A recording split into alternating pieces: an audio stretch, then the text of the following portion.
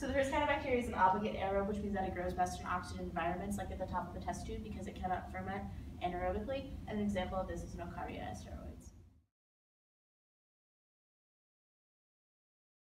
So another kind of bacteria would be an aerotolerant anaerobe.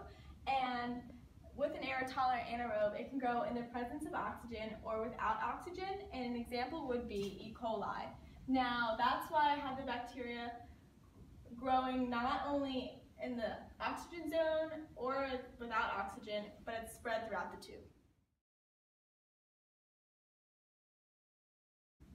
All right, the next kind of bacteria is microaerophile. So it needs oxygen to grow, but at high concentrations, it's poisonous. So in a test tube, you can see the bacteria growing at the top of the test tube, but not the very top.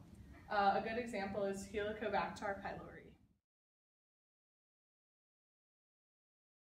This is strict anaerobe, which is oxygen toxic. The bacteria grow away from the O2 zone at the bottom of the tube. And an example of this would be Bacteroides fragilis. Another type of bacteria is a facultative anaerobe, which means that the bacteria can grow either with oxygen or without oxygen, but it prefers to grow with oxygen. And an example of this kind of bacteria is Streptococcus thermophilus.